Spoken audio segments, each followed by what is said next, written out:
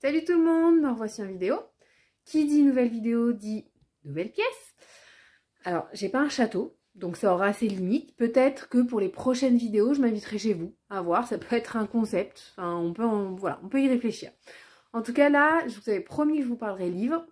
Donc on va parler livre, deux coups de cœur, un premier euh, un livre pour les enfants et un deuxième un livre pour les parents plus destiné pour les mamans aujourd'hui, mais j'ai déjà l'idée du livre pour les papas pour la prochaine vidéo, donc pas d'inquiétude.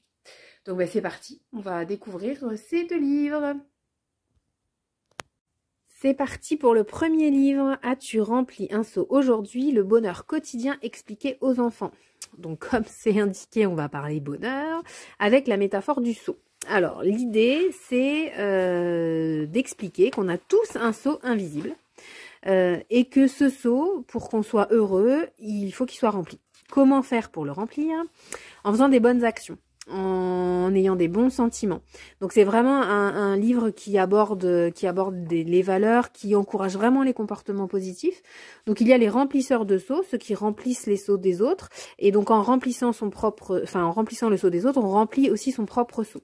Donc euh, voilà, c'est partagé sur le fait que euh, eh ben, les, bonnes actions euh, sont récompensées, enfin même pas récompensées, mais en tout cas ça nous fait du bien de faire du bien aux autres.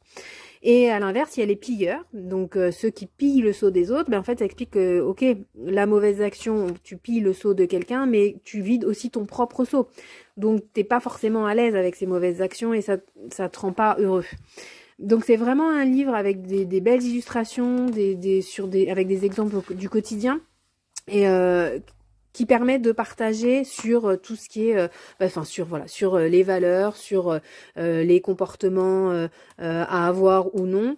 Et alors, ce qui est plutôt chouette, c'est que, enfin en tout cas l'anecdote, vous voyez là les illustrations, elles sont, elles sont vraiment sympas. Et alors l'anecdote de ce livre, c'est que on l'a découvert lors du premier confinement, et donc je l'ai lu. je l'ai lu aux trois grands et les deux grandes l'ont accueilli un peu de manière rigolote. Enfin, oui, le saut. Enfin, ça les a fait beaucoup rire, mais voilà, pas sans prendre vraiment très au sérieux. Et puis en fait, ça, on a eu de vrais échanges, euh, enfin voilà, de vrais échanges à la suite de la, de la, lecture de ce livre. Et les jours qui ont suivi, euh, on a pas mal fait référence euh, au saut sur ben, des petites anecdotes, mais quand on demandait un service ou entre frères et sœurs quand ils se demandaient un service et qu'ils se, qui s'envoyaient, s'envoyaient balader, ben on disait, eh, oublie pas ton saut. Et du coup voilà, ça permettait de désamorcer un petit peu. Et, et franchement, voilà, un, vrai, une vraie belle découverte et un, un, un livre qui peut avoir un chouette impact. Voilà pour euh, le livre pour les enfants destiné aux enfants, le premier petit, euh, premier petit échange. Passons maintenant à celui pour les parents et donc plus particulièrement là les mamans. Je suis une super maman. Donc ça c'est un livre à lire euh, tranquillement pour décompresser avec un café, un verre de vin, enfin avec ce qu'on veut.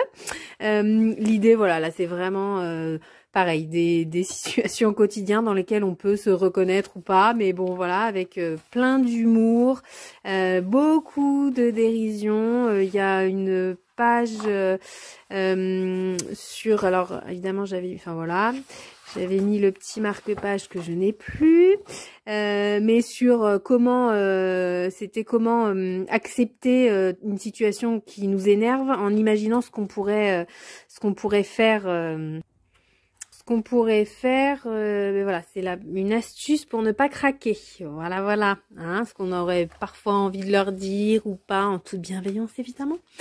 Voilà, donc ça c'est vraiment le livre, le livre détente qui se lit euh, hyper facilement et qui permet de, de, de décompresser un petit peu. voilà, voilà. Voilà pour la petite présentation de ces deux livres coup de cœur. En tout cas, moi, c'était toujours un plaisir de partager avec vous. Alors ben, n'hésitez pas comme d'habitude, pour ceux qui connaissent les livres, bah, nous faire un petit commentaire, euh, donner leurs avis, et pour ceux qui le découvrent, ben, pareil, nous dire si ça vous a donné envie de d'en lire plus. En tout cas, je vais vous mettre les hum, photos, euh, comme ça vous aurez les titres et euh, les auteurs, si jamais vous êtes intéressé pour, les avoir et les lire. Et puis, et puis bah, n'hésitez pas, voilà, pas à revenir vers nous, nous faire des petits commentaires, c'est toujours sympa de savoir comment ça a été accueilli par les uns par les autres. Mais je vous dis euh, à très bientôt et puis bah, bonne lecture. Ciao ciao